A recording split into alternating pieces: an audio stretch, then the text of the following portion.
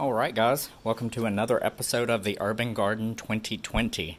So, today is January 2nd. Yesterday was New Year's Day, January 1st, and here in Birmingham, Alabama, we had a high right at 80 degrees with uh, severe thunderstorms possible. It looks like most of the bad weather went north of us, but um, anybody who got damage, I hope um, everything, everyone's safe and everything's covered, and just um, when storms come through, we always send our thoughts and prayers out because, you know, storms do not discriminate. They can hit any person, any place, any community, anytime.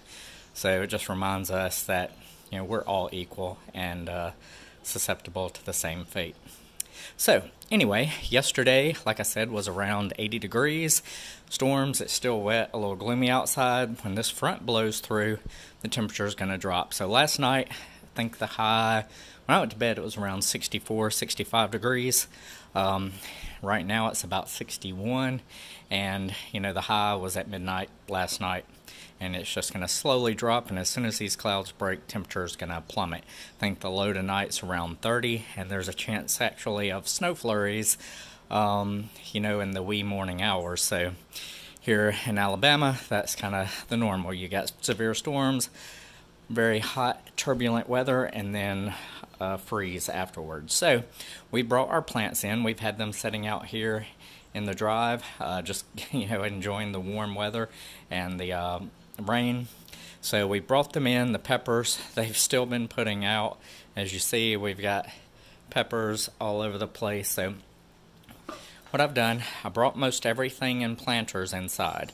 So all the peppers, the banana, even the tomato over there in the back. Uh, you can see there yeah, they're still tomatoes. Uh, some ripening, a few green. A couple of days ago, there were some yellow little uh, flowers on the tomatoes.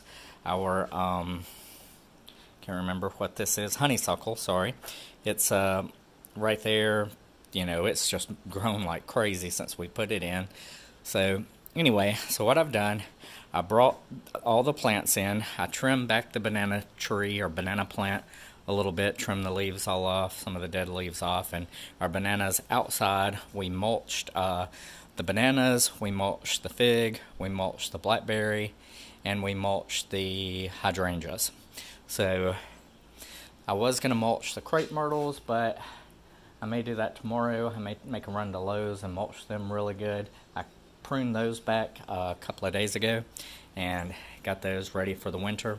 So what we're looking at, we just took some uh, pine bark mulch and uh, mulched everything down really good.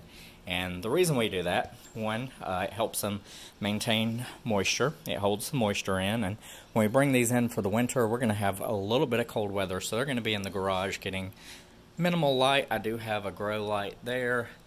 I bought another bulb the other day and drop light, so I'm going to bring it out and hang it somewhere up here in the top of the garage or somewhere in the garage, maybe off the garage door when we close it or somewhere where it won't get moved when I open the garage door. But anyway, so we want the soil to remain, you know, just slightly damp but not wet.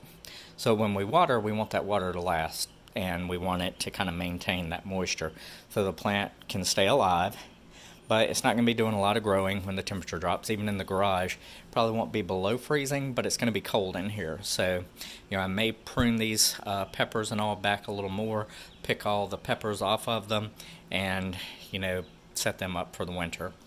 The um, see, there's a fern back there in the back.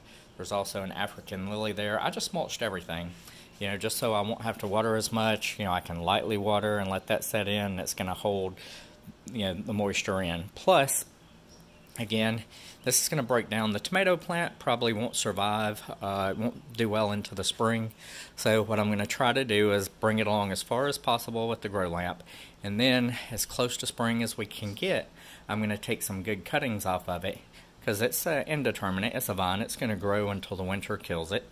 So um, just like the peppers, I mean the peppers are perennials, just the winter kills them back here in our climate.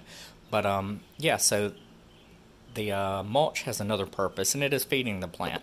So that material is going to break down. Um, it's going to, you know, going to turn into a smaller, more, you know, it's pure organic material. So that's going to break down eventually. Next year, it's going to feed the plants. So, you know, we put it on winter to hold, over winter to hold the moisture in, just like we do the outdoor plants. You know, it keeps the frost off the root base and the main stalk of the, you know, stems of the plants. So that helps prevent them from being damaged by, you know, the cold frost or, you know, maybe this year we'll get snow, who knows. Um, you never know in Alabama. It could be April and come like the heaviest snow we've seen in years, or it could just be like it is now. You know, I'm wearing shorts and a t-shirt and I'm sweating out here moving these plants around. So, but yeah, so that uh, mulch is going to break down into organic material. That's going to know, feed the microbes. They're going to break it down even further, and they're going to um, you know break that down into usable uh, matter for nutrients for the plants.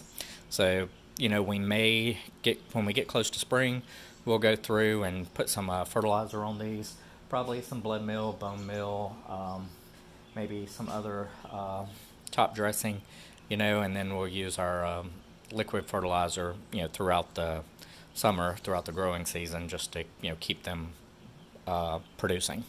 So out here, I've also moved. I didn't bring all the crepe myrtles in because I don't want those in warmer weather. But what I did do, I stacked them up against the retaining wall, and even the ones I don't think will make it, I put over here. I mulched them, and well there's one or two that don't have anything in them but um, most of these crepe myrtle cuttings I took early in the year they actually sprouted back out some. You can see some still have a leaf or two on them like that one. Um, there's another one that got a little sprout out before uh, fall got here.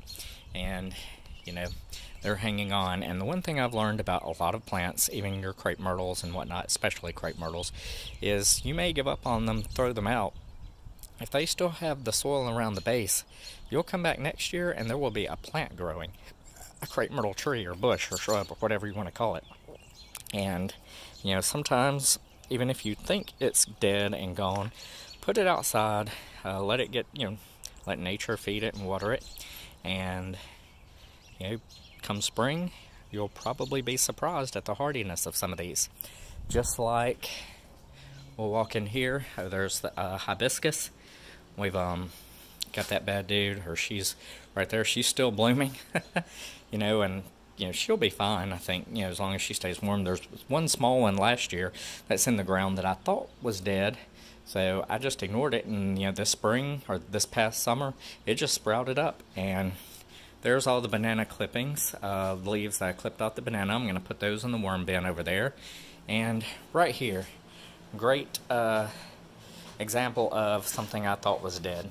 So this uh, avocado right here, it grew this main stem up to right here. It had a nice little leaf coming out and I forgot about it. I let it dry out and I thought it had died. Well, the end of it did die. The main stem was brown. So I just took it and set it outside out back uh, on a barrel and it got uh, put it in actually a little Tupperware dish and it collected rain you know up to about right here and if you watch one of the other videos um, I, I may have it in there but anyway so during the spring or throughout the summer it sat there and I just kind of forgot about it. And then at the end of the summer I looked and there were leaves sprouting out in a little green section and now that has grown that vine has come on out and it sprouted leaves. So I'm going to take this and put directly under that grow light. And I'm, I didn't mulch it too heavy but I'm going to come back mainly because I ran out of mulch.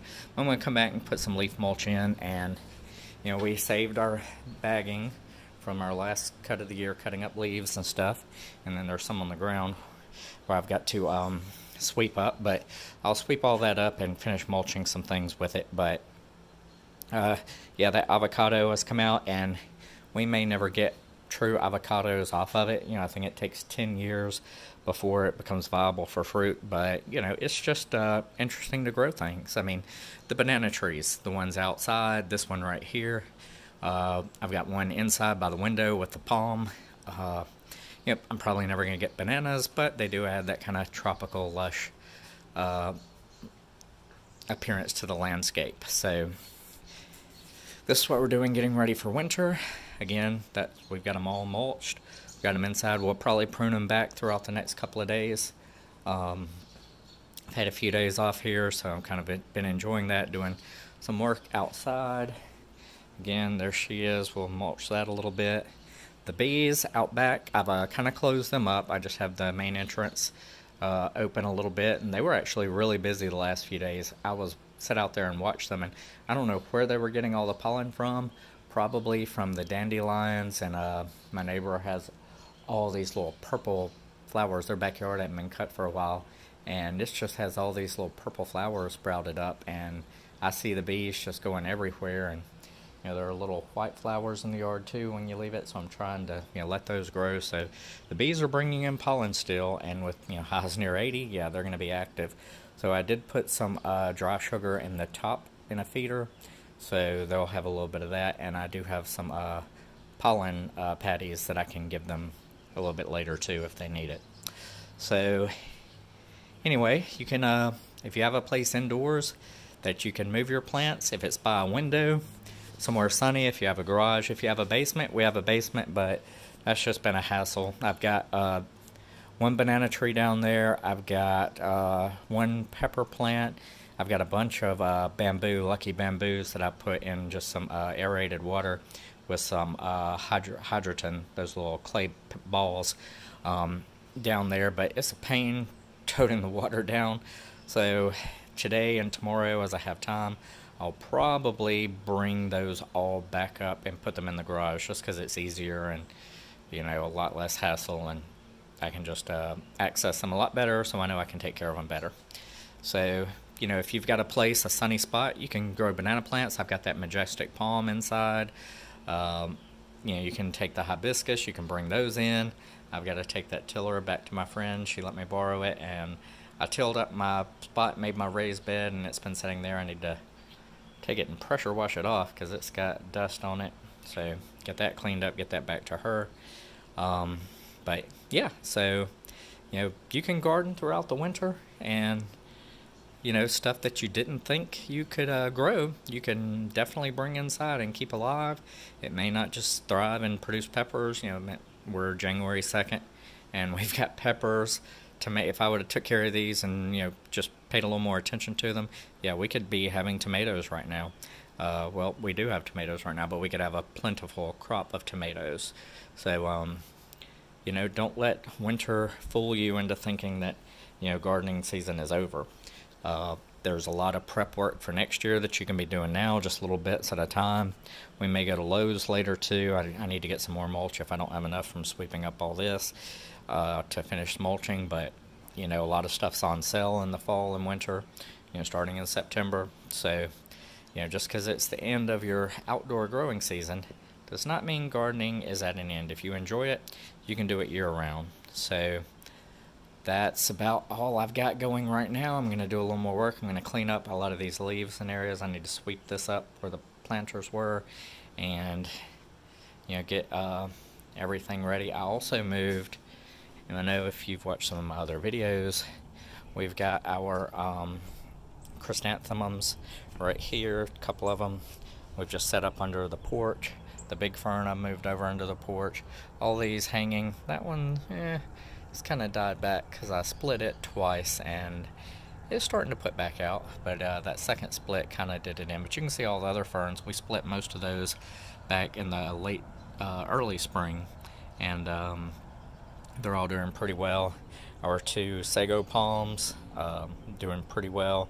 You know, they'll be fine underneath the porch here, and they'll just get protection from the frost. The mums, they've got a little bit of green under that, so I'll probably wait as soon as this dies back a little more, clip all the dead uh, uh, blooms off, and then just let it sit over winter and the spring. They should come back pretty well. So that's what we're looking like around the urban garden here in Birmingham, Alabama. We're going to close up shop and get everything ready for the cool weather coming.